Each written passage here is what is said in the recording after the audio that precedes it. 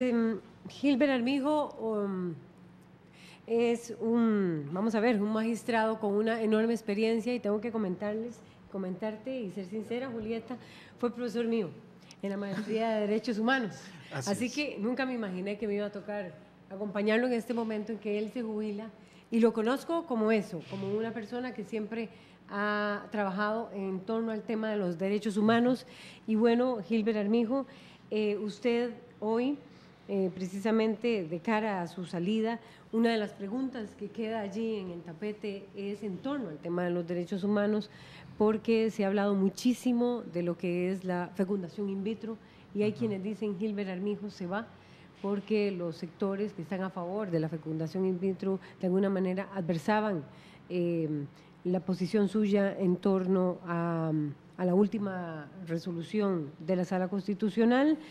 Eh, ¿Será por eso que se va Gilbert Armijo de la Sala Constitucional? Bueno, es multifactorial, podríamos decirlo. Pero ese es un elemento que pesó. En el último momento es un elemento que pesó en el sentido de que yo creo que es la Corte Interamericana la que tiene la competencia última sobre este tema.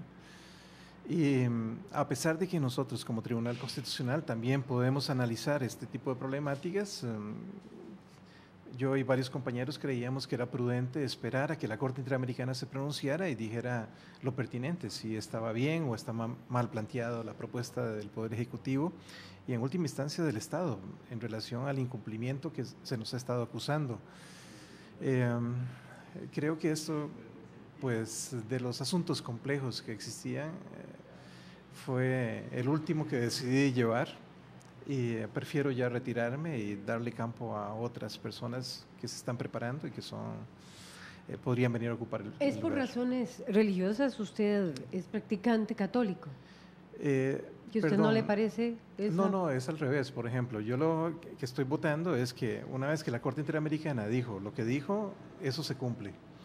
en el caso mío, más bien, por ejemplo, nosotros votamos porque Em, en relación a este tema ya está resuelto.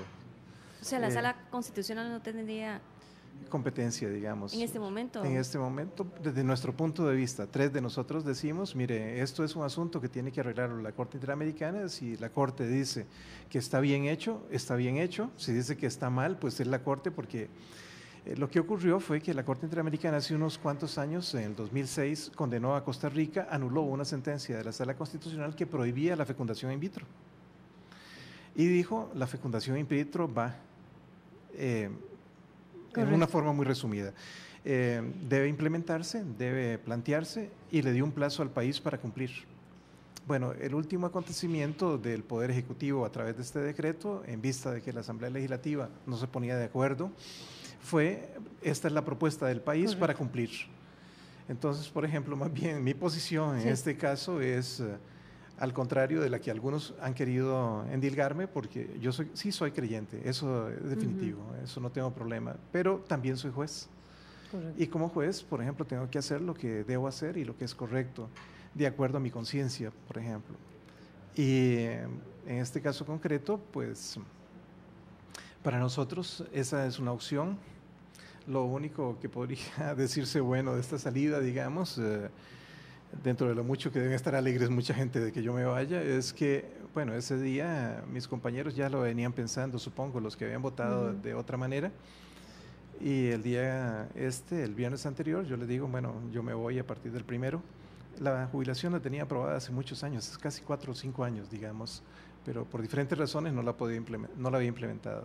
Y llegó a tener usted uno de los puestos más, hay quien dice que, bueno, más importantes del país, tan importante como el del presidente de la República, o sea, quienes son los siete magistrados de la sala constitucional son figuras de un enorme poder. Se va un contrapeso importante de la sala constitucional, dicen quienes más bien apoyan sus gestiones. Y es que Gilbert Armijo estuvo y consideró inconstitucional el Tratado de Libre Comercio con los Estados Unidos. ¿Por qué? Y hoy que usted ve que ese tratado está en vigencia. Sigo pensando que es inconstitucional y sigo pensando que tenemos un montón de desventajas. Eh, lo que yo hice cuando se analizó lo del Tratado de Libre Comercio fue, bueno, verificar si realmente se ajustaba a la Constitución en muchos de los aspectos que se estaban analizando y en aquellos que encontramos vicios, tanto don Fernando Cruz como yo, dijimos esto no puede ser porque esto va en contra de la Constitución. Eh, esto tiene ventajas, como todo, un tratado de libre comercio no es per se malo, digamos, pero el problema es cuando uno negocia en condiciones de desigualdad. El leonino. El leonino. Entonces, por ejemplo, perjudicaba al país, para mí, y en puntos clave, y sigue perjudicándolo. Eh, véalo con el ICE, por ejemplo. ¿Sí? El ICE, la única función que tiene, por eso es que no se ha muerto el ICE. El ICE, la función fundamental que tiene es mantener vivas a las empresas que compiten con el ICE. Porque el ICE es el que tiene la obligación, de acuerdo al Tratado de Libre Comercio, de mantener la última tecnología, la última infraestructura para darles el servicio a las empresas que compiten contra ellos. Mire, ¿en qué régimen de competencia privada eso funciona así? Es como que, por ejemplo, yo tengo un supermercado y tengo que subvencionar a todas las pulperías.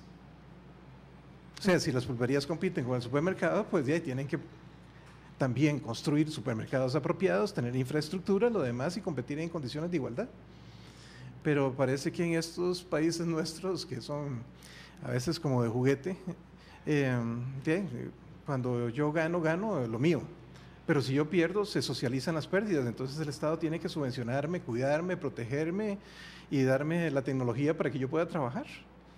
Eh, en realidad es un, comillas, empresa privada trabajando. O sea, en esos términos, ¿cómo no? En términos desiguales. Y, eh, don Gilbert Armijo, usted ah, debería tener este país una reforma procesal laboral como la que se estaba impulsando. Sí, claro, es urgente. Nosotros tenemos un código procesal penal que es muy antiguo, digamos, con instituciones muy Hoy lentas. Hoy estamos con una huelga. Hoy estamos con una huelga, pero en el fondo es eh, mucha de la problemática que tiene que ver con todas estas tipos de situaciones, eh, convenciones colectivas, por ejemplo. Em, en el mundo, en estos últimos tiempos, hay una contracorriente, por decirlo así, que todo lo que es público debe ceder frente a lo que es privado. A la gente se le olvida que hace aproximadamente unos 10, 15 años se hizo una reforma estructural del Estado. Y en esa reforma estructural, el Estado tenía que hacerse muy pequeñito y se hizo muy pequeño. Bueno, antes de esa reforma estructural nosotros casi no teníamos delincuencia. Eran los pocos países que no conocían los asaltos a los bancos, los secuestros, em, los robos, ni los asesinatos en este nivel que tenemos. Yo era jefe del OIJ en Punta Arenas, por ejemplo, en el 81, 85, y ahí cuando ocurría un, un homicidio era uno al año. Y los agentes del OIJ se lo peleaban porque el que lograra descubrir ese homicidio era la estrella el resto del año. Vean ahora, tenemos un promedio de asesinatos en San José terribles. Bueno, lo que quiero decirles es que cuando usted recorta, por ejemplo, cierto tipo de derechos para los trabajadores, tiene que pagar una cuota. Y estamos pagando la misma cuota que paga el resto de Centroamérica. Sí, la gente se hace muy rica, cierta familia se hace muy rica en el resto de Centroamérica y hay mucha pobreza también, pero tienen un nivel de delincuencia donde ni siquiera pueden disfrutar de la riqueza que tienen. Así es. 68 por cada 100 mil habitantes en El Salvador, nosotros 9,9 por cada 100 mil habitantes. Finalmente, la calle 13 bis le pertenece a los artesanos. Exactamente. Miren, eh, en realidad, por ejemplo, em, yo tenía una posición diferente a la mayoría de la sala. Para nosotros, em, en este supuesto, don Fernando Cruz y yo, para variar, estamos en minoría y nosotros decimos, bueno, sí, les pertenece. Sí, claro. Eh, tenemos muchas coincidencias. Él fue mi profesor, entre otras cosas, en la facultad. Fue el primer curso que él impartió, yo recibí clases con él y luego en la facultad durante mucho tiempo. Es una persona a la que yo admiro profundamente, es una persona realmente valiosa como ha habido otros en este país. Y me he sentido muy orgulloso de compartir con él en la sala constitucional este tiempo. Y sí, coincidimos en muchas cosas. Y esperemos que no se vaya Fernando Cruz después de usted. Eh, ¿Se eliminaría el contrapeso ahí completamente? Pues eso depende de los diputados en la Asamblea Legislativa. La, silla coja, como dicen. En realidad, por ejemplo, eh, todo tiene un ciclo. Eh, yo no creo que nosotros debamos aferrarnos tantos al poder como nos hemos aferrado durante mucho tiempo, digamos. Creo que la gente debe entender de que llega un momento en que tiene que retirarse y darle el campo a otro. Ahora, eso no significa que no vas a dejar de trabajar. Por lo menos desde mi punto de vista, eh, en una u otra cosa podemos colaborar, digamos, o podemos ayudar. Pero sí hay otra gente que podría venir a llenar el campo que nosotros dejamos en el momento en que sea eso para don Fernando. Yo espero que él esté muchos años porque él se divierte muchísimo. A mí me hace gracia don Fernando con eso. y tremendo espacio va a dejar Gilbert Armijo, un magistrado que ha hecho huella y ha hecho camino al andar definitivamente. Muchas gracias a Gilbert Armijo por acompañarnos aquí esta mañana. Un gusto tener a mi ex profesor. Vamos a una pausa, ya venimos con. Gracias.